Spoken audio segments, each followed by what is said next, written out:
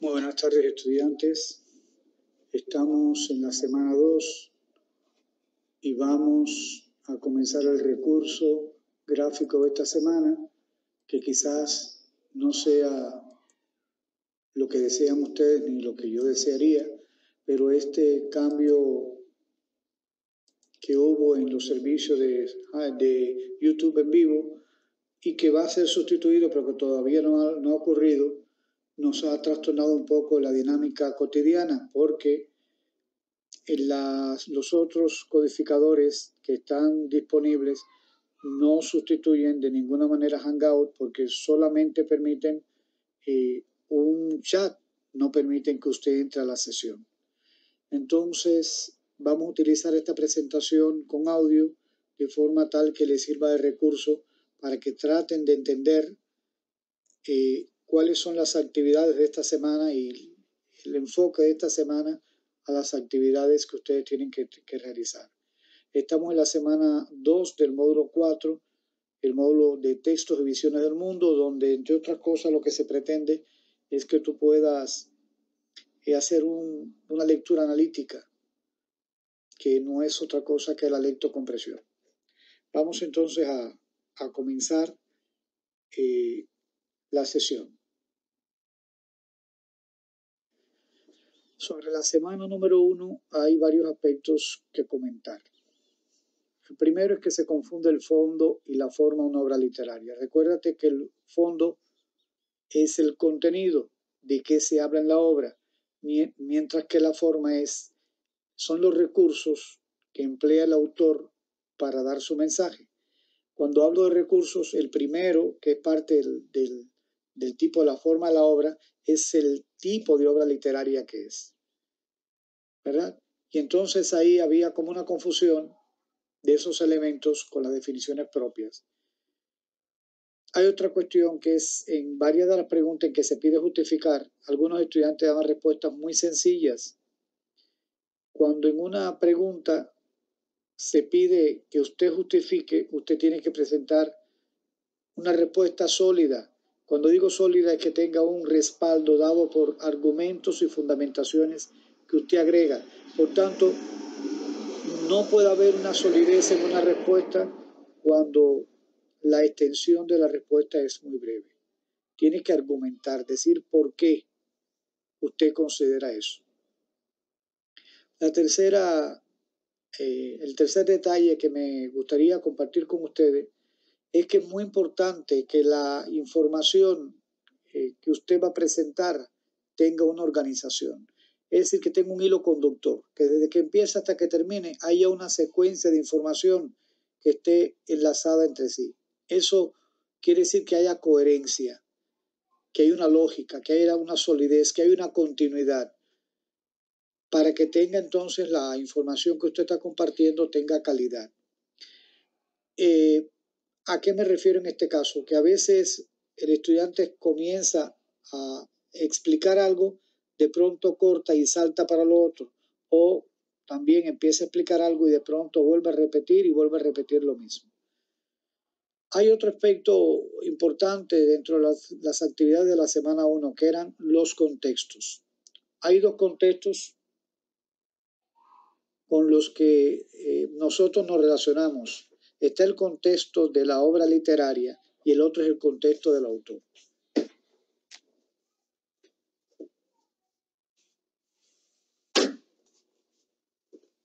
Como quiera que sea, cuando se habla de contexto, puede ser geográfico, el lugar, puede ser social o histórico, o sociohistórico más bien le llamamos.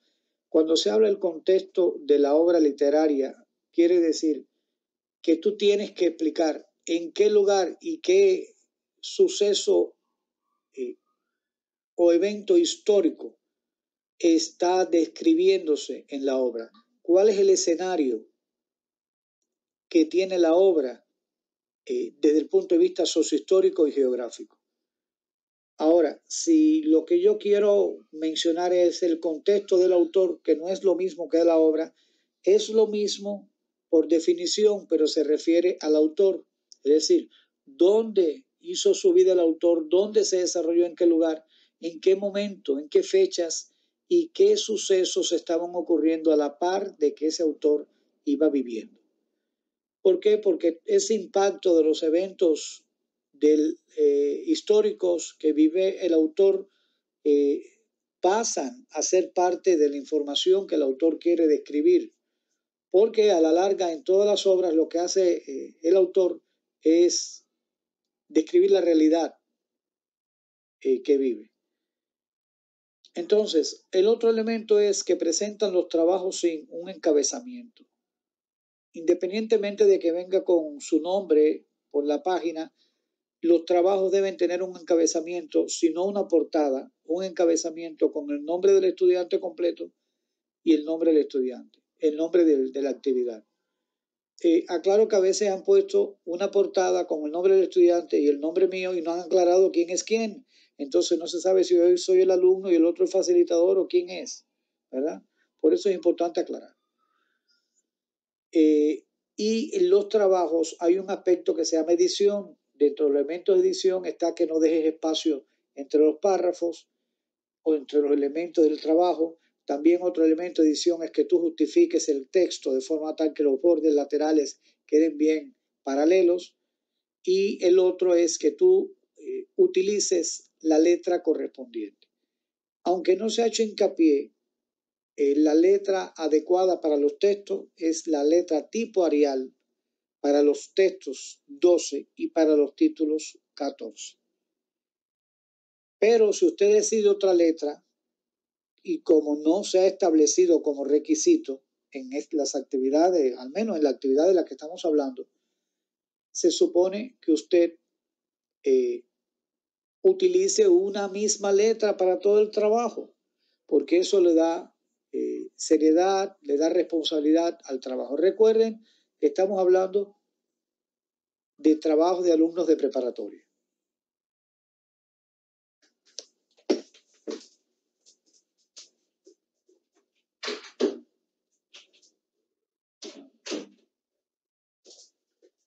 Y eso es parte del rigor de un trabajo de tipo académico.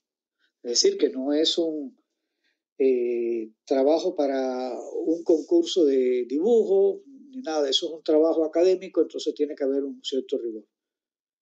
Eh, Vamos entonces, ya que estamos ubicados en eso, también quiero comentarle que en esta semana 1 la participación que hubo en el foro fue muy escasa. Les comento que el foro sí tiene valor. Por ahí hay una información que es un poco eh, confundida. El foro junto con las formativas son las que aportan los cinco puntos por participación en plataforma. Entonces, decir que el foro académico eh, eh, eh, el foro aprendiendo no tiene valor como que creo que es erróneo. Ahora, hablando de la semana 2, te pudiera comentar que a través de la literatura el ser humano se acerca a un mundo extenso como parte del acervo cultural, el legado cultural más importante que tiene el hombre. Indudablemente que la literatura no es la misma, el mismo, el único acervo cultural que tiene el hombre. Está la arquitectura, la pintura y muchos. Pero el, la obra literaria eh, muestra la perspectiva con que el ser humano, a través del autor, ha visto y ha recreado la realidad en que vive. En la literatura se registran a través de los personajes las emociones y la vivencia que tiene el autor que es un ser humano y que por tanto puede ser parte de las que tenemos nosotros. Asimismo, también se registran eventos importantes en la historia de la humanidad. A la par, hemos podido conocer los caminos por donde ha transitado el hombre hasta el día de hoy gracias a la literatura y otras evidencias que han existido. También las tragedias en las que el hombre se ha involucrado y las experiencias bélicas a las que jamás debemos regresar. ¿Verdad? La literatura también ha sido la manera de proyectar la fantasía humana, que hoy es fantasía, pero mañana es realidad. El caso de Julio Verne, donde el hombre demuestra que existe una esperanza construida sobre esos pasajes que vivimos y participa el ser humano a través de la literatura en las transformaciones sociales que vivimos. La, eh, literatura además es una oportunidad de pasar de persona a persona toda la información del entorno en que vivimos, la relación que hemos mantenido con el entorno y la responsabilidad que asumimos en aras de construir un mundo mejor. Entonces la literatura ocupa un rol muy importante en la cultura universal y en nuestro desarrollo como especie. Gracias a ella es que tenemos archivado toda la evolución que ha tenido el ser humano. En esta semana número 2 vamos a ver la unidad 2, que se llama Literatura, un acercamiento a los aprendizajes que se esperan esta semana 2 es que primero tú reconozcas el impacto que tiene lo ficticio en la transformación o alteración de la realidad. O en la creación de mundos posibles, porque a la larga, como les decía, hay muy buena parte de esas cosas que en un momento determinado fueron ficción, no fueron realidad y que hoy ya lo son.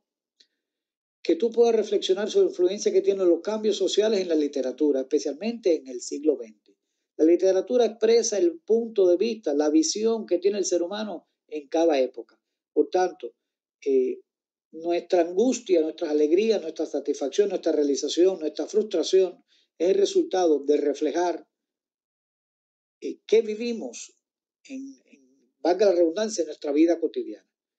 Que tú puedas describir de qué manera toca el sentido de la vida en la literatura, especialmente la del siglo XX. Es decir, eh, que las diferentes corrientes literarias que hay se diferencian por la forma en que enfocan el sentido de la vida. Que tú puedas identificar cuáles son las propuestas de un movimiento literario, tomando la vanguardia literaria como cada caso. Es decir, cuáles son los paladines de ese movimiento literario y cuáles son las ideas que divulgan en su obra literaria. Que pueda reactivar aprendizajes previo en módulo 3 sobre las características de la realidad social contemporánea, que acuérdese que era sociedad participativa, plural, multicultural, intercultural y globalización. Que valores el papel de la literatura en la pluriculturalidad, especialmente en el caso de la literatura eh, en lengua indígena y de las manifestaciones de la lírica en la cultura literaria mexicana. En esta semana, estas son las actividades. Actividad integradora 3, textos del mundo posibles, actividad integradora número 4, literatura y pluriculturalidad, que vamos a ver los detalles después. El, fondo, el foro aprendiendo, donde te piden que tú intercambies experiencias y presentes las dudas sobre el tema de la semana, eh, respetando eh, la individualidad en el aprendizaje y la participación de los demás. Recuerden lo que les comentaba del peso de 5% que tiene el foro aprendiendo. La formativa 3 y la 4 son cuestionarios que tienen tres intentos, de los cuales se toma el mayor. El primer, la primera formativa, que se llama Literatura, Realidad, Ficción y Contexto, y la cuarta, que se llama Literatura Mexicana. Y la actividad socioemocional, que es un cuestionario que tú debes responder con los materiales, los dos descargables, que tú debiste haber llenado en la sesión de la que dio la tutora en la semana pasada. Entonces, eh, esa actividad socioemocional también es un cuestionario con tres intentos y se toma la calificación mayor. Vamos entonces a las actividades integradoras. La primera, la número tres, se llama Textos y Mundos Posibles. El propósito que tiene es que tú analices dos textos literarios, uno del siglo XIX y uno del XX, y el contexto, para que tú reconozcas en ellos las propuestas que, que hace el autor según el movimiento literario al que pertenece el autor. El sentido de la vida que le da cada autor según el tiempo, el contexto en que vive, el contexto que refleja la obra y las necesidades propias de cada época. El papel que juegan los ficticios en la creación de mundos posibles.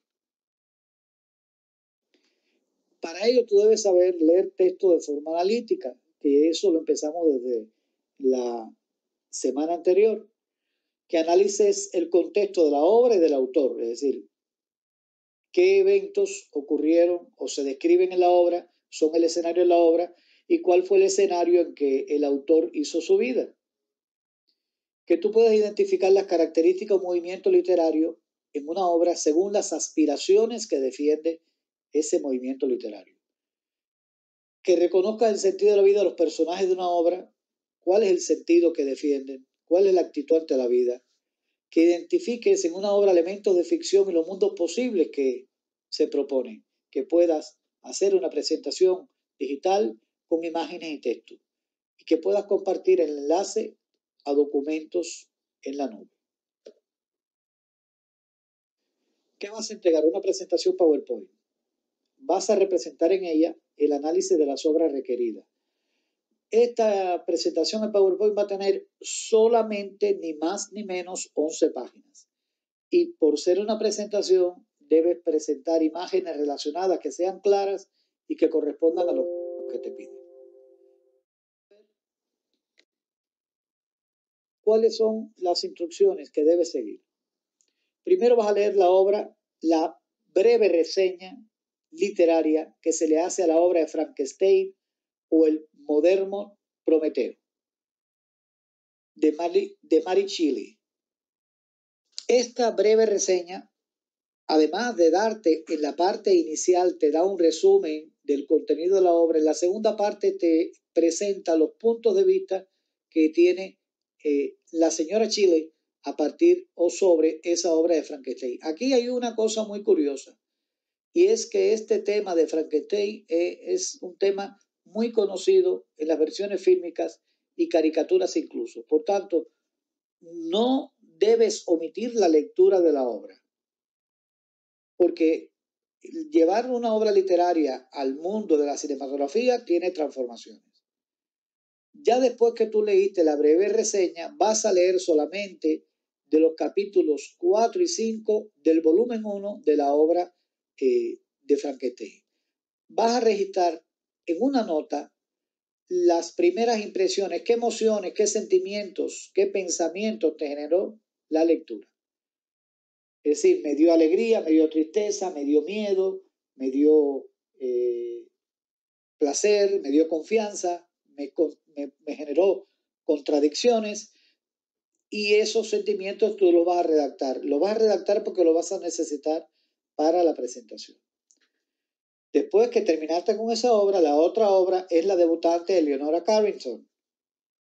Vas a hacer lo mismo. Después vas a resumir qué emociones, sentimientos y pensamientos evocó en ti esta historia. Entonces vas a elaborar una presentación en PowerPoint con las indicaciones del contenido página por página. Es decir, que debes ceñirte a la información que te piden página por página. Quiero recordarte que las presentaciones no se cargan de información en, en, la, en la presentación. Primero, presentación sin imágenes no es presentación. Es obligado. De todas formas, aquí te lo dicen. Y lo segundo, no se satura de información. Es información sintetizada.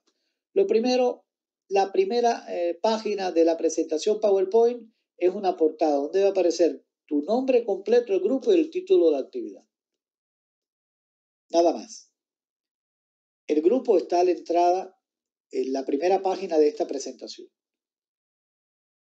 En la segunda página vas a poner primera impresión, Frankenstein o moderno Prometeo de Mary, de, Mary Shelley.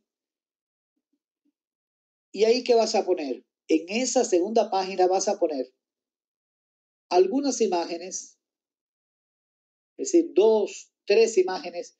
No debes poner muchas. Lo importante es que las imágenes sean las adecuadas según lo que tú quieres expresar de tus emociones y que se vean claras, no los satures de imágenes.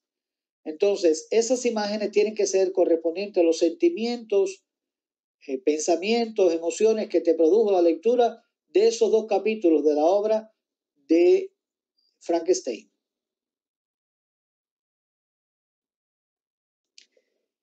Ahora bien, después vas a hacer una breve descripción de no más de 50 palabras. 50 palabras vienen siendo unos 5 o 6 líneas, no más, sobre esa impresión. Eso lo vas a agregar, digamos que pongas tres imágenes arriba y abajo agregas esa información. Recuerda que la imagen se tiene que ver claro y el tamaño de la letra tiene que ser el adecuado. Ahora, ya terminaste de las emociones, eh, los sentimientos, la percepción que tú hiciste desde el punto de vista emocional de la obra. Ahora vamos al, al contexto. Aquí nos vamos a referir en la página 3 al contexto de la obra y el contexto del autor. Y para ello tú vas a responder estas tres preguntas. ¿Cuándo y dónde fue escrita la obra? Eso sería el contexto de la obra literaria. ¿Por qué la sociedad europea, la inglesa, la suiza, la alemana, en la primera mitad, cómo era la sociedad europea en la primera mitad del siglo XIX? Bueno, ahí basta con que tú pongas eh, eh, primera mitad del siglo XIX, eh, eh, Suiza y Alemania, digamos, y te va a aparecer información. ¿Por qué la autora escribió esta obra? Es decir, ¿cuál fue la motivación que tuvo? ¿Qué quería ella resolver con esta obra? Elige los elementos que consideres más relevantes del contexto sobre el análisis del texto y represéntalo en la diapositiva. Ahí puedes emplear un audio o sencillamente utilizas el texto. Ya si quieres emplear un audio, acuérdate que está la función insertar audio y ya lo tienes. No satures de información las páginas. Haz una, una argumentación breve, que se entienda bien y redáctala con las palabras mínimas. Después entonces vamos a la obra de Frankenstein, una obra perteneciente, y debes colocar, es decir, la, la otra página, lo que vimos en la 2, eran las emociones. En esta tres es el contexto de la obra y de la autora y lo más relevante de la obra. En la cuarta va a ser eh, a qué movimiento literario corresponde la obra de Frankenstein. Tú debes eh, ubicarte en cuál es el movimiento literario y seleccionar al menos dos frases o dos elementos que caractericen ese movimiento literario vas a acompañar con imágenes, uno o dos, no más, sobre esa corriente o movimiento literario al que pertenece Frankenstein, la obra Frankenstein. Ahora viene en, el otra, la otra página, viene el sentido de la vida. Es decir, una vez que tú leíste, leíste la obra de Frankenstein, tienes que ver cuál es el sentido de la vida que tiene Víctor Frankenstein. Recuerda revisar el recurso sobre este tema, la reseña. Una vez que lo hayas identificado, ilústralo con una o varias informaciones. Es decir, en las dos emociones, en la tres, contexto de la obra del autor y los elementos más relevantes. En la cuatro, el movimiento literario y frases que, que propia de ese movimiento. En la cinco, el sentido de la vida. Todo eso. Vamos al 6. Vamos entonces a la obra de Leonora Carrington. La primera impresión, la debutante, va a saber cuáles son los, las emociones, lo mismo que viste anteriormente, pero lo vas a ver a partir de la debutante de Leonora Carrington. Vas a ver cuáles son los sentimientos, emociones y pensamientos que evocó y lo vas a acompañar con imágenes. Yo considero que tres imágenes ya es suficiente. Después vas a ver cuál es el contexto histórico de la obra y de la autora. Para ello vas a tener que responder esas tres preguntas. Incluso los elementos más relevantes del contexto para análisis del texto y debe ir, acompañado con imágenes también. Puede ser imágenes de época, donde se vean eh, los eventos históricos de la época. Después vas a ver al movimiento literario. ¿A qué movimiento literario Entonces, argumentarlos con imágenes vas a tener que colocar, además de definir cuál es el movimiento literario, eh, cuáles son las frases que lo caracterizan y las imágenes correspondientes. Observa que es una, argumentación muy, este, muy breve. Y después al final vas a presentar eh, de la obra eh, como tal de, de ambas obras, van a, plantear a qué obra pertenece. Aquí me dice la ficción y los mundos posibles. Ambas obras tienen elementos ficticios y plantean mundos posibles. Identifica cuáles son los mundos posibles. ¿Cuál de las cosas que se dicen en la obra es posible que ocurra? O ya ha ocurrido. Y entonces que tú distingas en las imágenes de cada obra Ahí puedes utilizar la mitad de la diapositiva para una obra y mitad para otra obra. Vas a argumentar con imágenes de la obra como tal.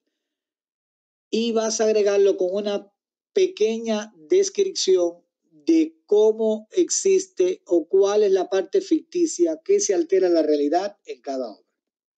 Al final vas a colocar la fuente de consulta. Como mínimo tienes dos fuentes de consulta, que son las de la obra, pero también te voy a mencionar que tienes eh, los elementos propios, eh, las, las fuentes, el link, el recurso propio donde tú tuviste las imágenes. Por tanto, pienso que deben ser varias las fuentes que tú vas a colocar en la página 11.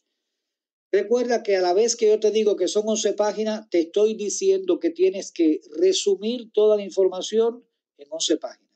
Si colocas menos, no llegas. Si colocas más, no sabes resumir. Vamos a la, actividad integradora número 4, literatura y pluriculturalidad. El propósito de esta actividad es que tú analices la importancia de la literatura de las lenguas indígenas y la manifestación de la lírica mexicana en la pluriculturalidad característica de nuestro país. Como somos étnicamente un país multicultural, indudablemente la forma en que nosotros manifestamos la realidad es diferente porque la vemos diferente porque de la, de la, cultura que nosotros tenemos, la historia, lo que hemos vivido. Para ello es necesario que tú tengas como premisa que puedas hacer lectura analítica, lectocompresión, que puedas seleccionar información de Internet, que sepas qué es la lírica mexicana, identificar la pluriculturalidad en la literatura, grabar un archivo de audio, subir archivo de audio en la nube y compartir enlaces o documentos en la nube. Ahí te dan un poema que primero está en náhuatl y después está en español, y te piden que si habías escuchado antes poesía en lengua indígena. Si sí, si no, si fue así, en qué lengua usted lo oyó. ¿Qué te hizo sentir? ¿Qué emociones te transmitió o qué imaginaste mientras lo escuchabas? ¿Qué diferencia hubo? Es decir, en que escuchabas el poema, que habla de la realidad propia de, ese sector de la sociedad. ¿Qué diferencia hubo entre lo que tú sentiste cuando lo escuchaste en la lengua original náhuatl en español? ¿Y qué te pareció de cómo suenan las palabras? ¿Y cuál te gustó? ¿Cuál disfrutaste más? ¿Qué vas a hacer? Vas a buscar en internet textos o fragmentos literarios que se hayan escrito a partir de 1900 en cualquier lengua indígena, con la traducción al español, evidentemente. Puede ser de cualquier género. Elige uno que te parezca interesante. Graba un audio en que leas dicha obra o fragmento en español. Un minuto como máximo, un audio muy breve. Sube el audio a la nube y pega el enlace en ese recuadro. Verifica que la liga funcione. ¿Cómo? Colóquelo en la introducción de las ligas. Arriba, dele enter. Si lo lleva al audio, perfecto reflexiona y comenta de forma breve, de tres a cinco líneas, por qué elegiste ese texto fragmento, qué sentiste al leerlo, qué emociones o impresiones te transmitió ese texto en lengua indígena que tú seleccionaste. Te dan un artículo para que lo revises y reflexiona acerca del contenido y responde de tres a cinco líneas. ¿Crees que la literatura ayuda a la conservación de las lenguas indígenas? Justifique su respuesta. Bueno, de, antemano hay una situación muy real. Las lenguas eh, necesitan usarse para que existan. Entonces, la literatura es una forma de propagar y difundir la existencia de otra lengua. Busca en internet alguna muestra de la lírica mexicana que te guste. Esa lírica puede ser escrita o musical, coplas, sones, bombas, yucateca, chilena, pirecuas, de preferencia de tu estado, el estado de alguien que conozcas, y comparte el enlace en ese recuadro. Es decir, debajo de, este, de ese recuadro vas a colocar el enlace de ese recurso lírico que tú buscas. Y ahí terminamos. Es decir, eh, en esta actividad integradora número 4 es necesario que tú bajes el descargable y tú vayas leyendo y recuerdes, no olvides que tienes que subir dos audios. El audio de la lectura de la obra que seleccionaste y el audio del recurso lírico que tú seleccionaste. Lo vas a subir a la nube, vas a generar un link de compartir y lo vas a compartir. Te pido que por favor que lo pruebes antes, de forma tal que lo puedas demostrar. Entonces, esta presentación va a subir a la nube y voy a compartir el link, a mi y lo voy a compartir el link para que tú tengas acceso. Espero que le saques, eh, que le saques el partido, que la aproveches, que te sirva para que entiendas mejor las actividades. De todas maneras, eh, ahí está el, mensajero, comuníquese y le vamos a buscar la solución, le vamos a enfocar de otra manera para que usted entienda qué es lo que se le pide. Observen que las dos actividades son de lectocompresión y tienes que dar tu apreciación, por tanto, dala de forma complaciente y trata de comunicar tus ideas de forma organizada con las palabras más adecuadas. Te deseo que tengas mucho éxito y que disfrutes la actividad. Muy buenas tardes.